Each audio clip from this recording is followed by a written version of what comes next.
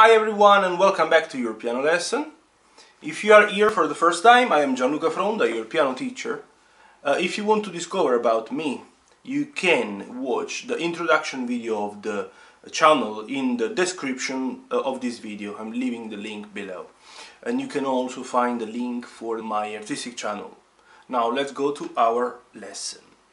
Today, with enough delay, I have to finally play the Gigue l'Angloise from the uh, old um, piano exam pieces ABRSM grade 2 still the um, syllabus 2019-2020